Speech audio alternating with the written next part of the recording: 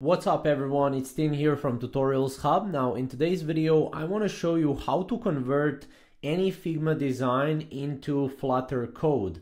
Not just Flutter code but also React or any other code you might think of. So uh, as you can see this is our Figma file in front of us and we have it right here in the layers as well. So first of all what you want to do is you want to right click on the file, make sure the file is yours, make sure you're not actually sharing the file uh, or it's not a shared file uh, in terms of you know somebody sharing it with you. It needs to be your file, and then you simply go to plugins and go manage plugins. From here, basically just type in code T and then you will get this plugin right here which is called image to Figma or not actually this one but this one Figma to code so click on that one um, you will just need to log in in another um, in another um, tab which is called codet.io as you can see I've logged in here and basically these are all the frameworks that you can uh, you know import your design into or transform transform your design from Figma to to the frameworks. And then what you want to do is you want to obviously go and type in what you want to do. So first I select this one and I go view full source and please choose mobile screen frames. So as you can see uh, error empty frames please choose frames that has minimum width of uh, under or equal to 300 so uh, as you can see I don't have this right here. So what we can do is we can go back to my Figma. And I actually have uh, here something similar uh, that is uh, more so like on a mobile screen. So let's open this one up. And as you can see we have this one for example, let me just uh, scroll in and then we can go here and we have plugins, we have code T, and then we can go with Flutter. And as you can see, this is the layer that we selected. So this is the layer that we want. Obviously, we can choose um, as many layers as we want. If you hold shift and if you uh, put multiple layers, it will basically give all the layers. So we just want one layer for now. So let's just use the register step 2 one. Flutter and let's view full source. And then as you can see, we will open up uh, or we will have a new tab that will open up. And then here, as you can see, uh, it will be prototyping in Figma.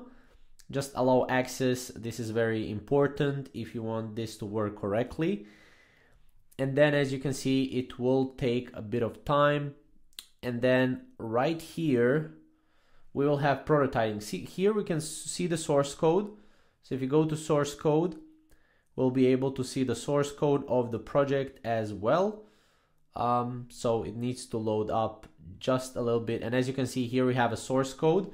And uh, I mean, this can be changed, right? Depending on the new screen, uh, right? So if you have a new screen, you can also prototype this in Figma, which is really great. And then you can add multiple different, uh, you know, things inside. And then here, once you click, uh, click source code, you will have uh, React or you will have, you know, uh, Flutter code design. So you also have components as well. So for those of you that are, you know, um, new, you can also change the components as well right here. So that's something that you can do. So um, again, these are a couple of things that you can do. Obviously, one more thing or one more app that you can use is you can go to plugins and you can manage plugins as you and use builder.io so just type in builder.io and if you click on it you will be able to for example click on the you know again like uh, low auto layout usage apply auto layout to layers to prevent layout uh, layout issues okay? And then we can also export this to code. Uh, we can also map our code and components to generate code from our designs. We can also do that. So this is another app or another plugin that you can use for this and as you can see um, it's called builder.io and as you can see this is how it's going to look like. And then you can go to develop and you can generate a code. Uh, a code can be react it can be vue it can be you know um, i think you have flutter right here yeah in beta which will be better over time. So if you are looking for an ai alternative to the app that i just showed this is the best alternative. So you click generate code and it will generate the code based on this right here. Sometimes it does not work, so you'll have to refresh this, uh, the web page, but this is pretty much how, uh, yeah, how it is and how you can create this, um, you know, uh, how you can turn or convert Figma design into Flutter code. So one thing to note though that uh, you know if you want the, to learn more about Builder.io, we have a full tutorial on that on our channel and other AI apps on our, on our channel as well. So thank you guys for watching. I hope you enjoyed the video. I hope you find it useful. And uh, yeah, we'll see you in the next video. Thank you.